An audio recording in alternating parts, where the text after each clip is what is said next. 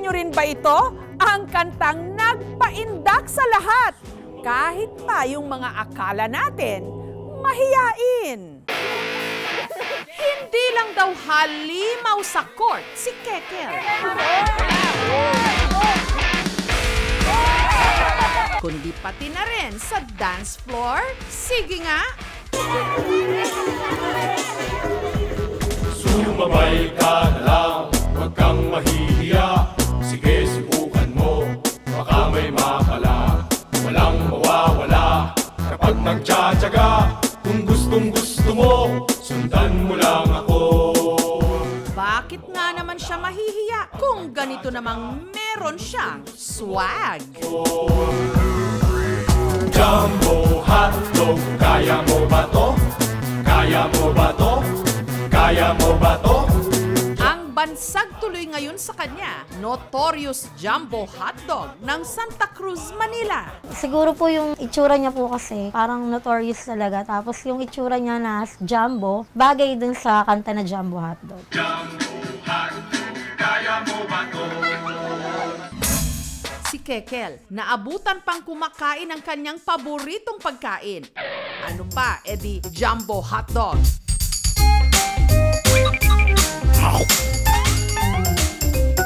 At para raw maitagtag ang kanyang kinain,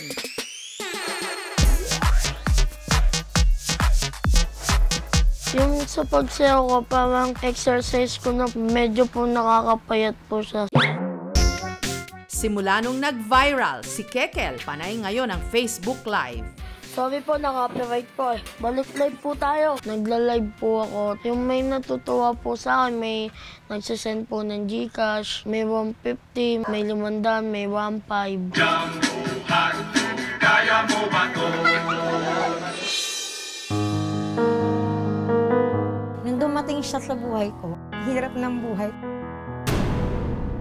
Pero kinaya ko.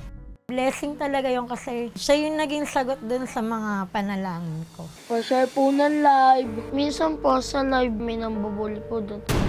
Ang taba-taba ko daw po. Pero po hindi po namin pinapansin.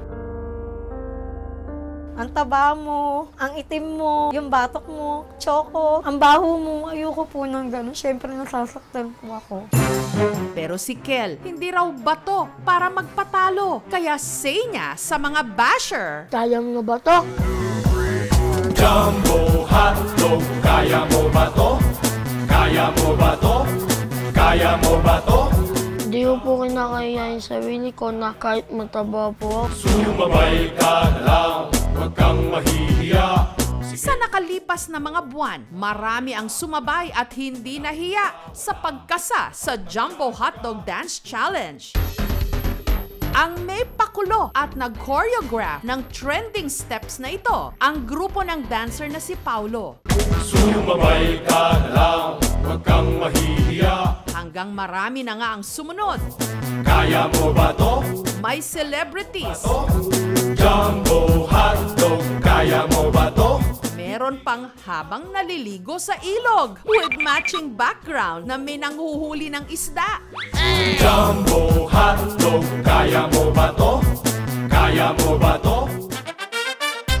Ang TikTokerist naman na si Kuya Dudis, hindi rin daw magpapatalo. Jumbo hotdog, kaya mo ba to? Ang hamon na sumayaw ng Jumbo Hotdog Dance, challenge accepted din para sa tatlong bortang ito Sumabay ka na lang, huwag kang mahihiya na may pag-flex pa ng kanilang katawan. Sina Julius, Mark at Breven. Jumbo hotdog, kaya mo ba to? Kaya mo ba to? Pero wag daw kayong loloko-loko dahil dalawa sa kanila, mga pulis! Pulis sa Samar si Julius, habang patrolman naman sa Tacloban si Breven. Si Mark kumukuha ng criminology. Nag-start yung pagkakaibigan namin. Napansin ko po, may mga lalaking nagtitiktok sa loob ng gym. Try kong nakipag-collab sa kanila. Sa kanilang tatlo, si Julius daw talaga ang magaling sumayaw. Si Breven naman, camera shy daw talaga. Shy type po talaga ako. What if itry kong mag-tiktok just for fun? Ko na malayan na full in love ako sa TikTok. Uy, may viral na music ngayon sa TikTok. Sayawin natin. Walang mawawala Kapag nagtsatsaga Kung gustong gusto mo Sundan mo lang ako Marami nagko-comment ng pamain. Pero ang maskuladong katawan ni Mark, produkto raw talaga ng pag-move on. Nag-gym po talaga ako kasi broken hearted ako noon. Kumbaga, pinokus ko yung sarili ko sa pag-improve. Kinailangan din daw magtrabaho ni Mark para sa kanyang pamilya at para rin matustusan ang kanyang pag-aaral. Pangarap daw kasi niya talagang maging pulis, katulad din ang kanyang mga kabarkada. Paglilingkod nila, mas nahikayat ako na ipagpatuloy ko na lang. Yun yung pangarap ko, criminology. Si Breven naman, galing sa pamilya ng mga pulis. Kahit po na kami po ay patiktok-tiktok lang, tatapis minsan. Pagdating po sa sa trabaho, we take it seriously kasi we are the enforcer of the law. We should ser- serve as a role model. Dito naman sa La Union, merong ang gimmick, Sumabay ka na lang mga Jumbo Hotdog Dance Challenge. Bukan mo Baka may makala in public places ng nakapalda?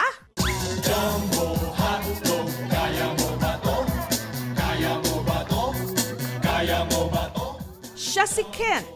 Yung pagpapalda ko, pag-skirt po in public, sasayaw ko po sa harap ng maraming tao, challenge po siya. Pero ang hamon ng netizens kay Kent, sumayaw sa harap ng kanyang tatay? Kent, kaya mo ba to? Sobrang hiya po kasi first time kong gagawin yun. Kilala din po ako dun sa market na yun. Nakakahiya po. Sumabay ka na lang Huwag kang mahihiya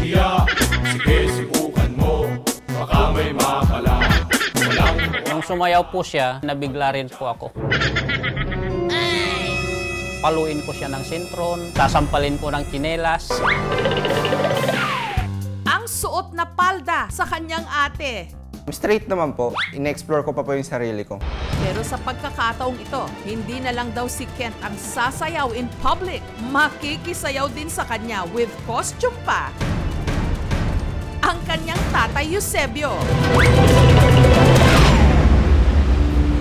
First time nito sumayaw sa public tapos kasama ko pa guys.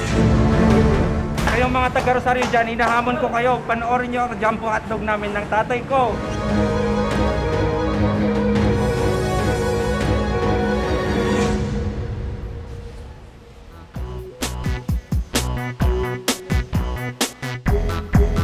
Sumabay ka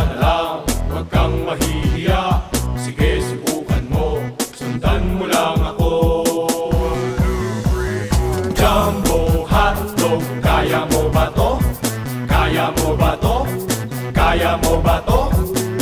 Si Lola, hindi na napigilang makiindak sa sayawan ng mag-ama. Jumbo hotdog Kaya mo ba to?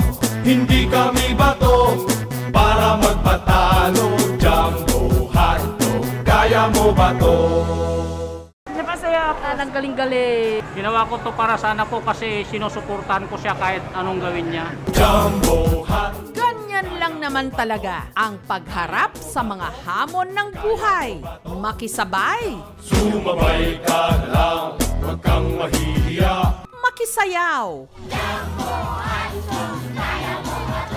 Laging isipin, kaya mo to. Kaya mo ba to? Thank you so much mga kapuso. Kung nagustuhan niyo po ang videong ito, subscribe na sa GMA Public Affairs YouTube channel. Don't forget to hit the bell button for our latest updates.